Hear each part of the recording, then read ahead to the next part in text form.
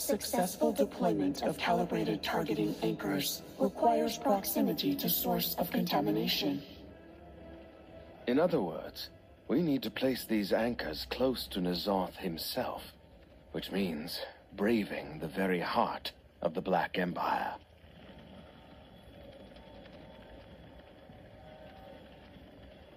Do you require experimentation? There is always a way. The rest of you see to the forge. Leave the problem of Ny'alotha to me. Uh, I didn't know what you have up your sleeve, lad. But all right. Let's fire it up.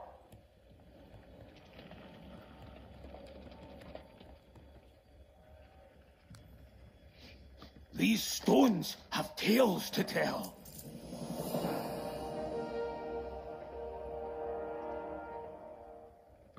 To work.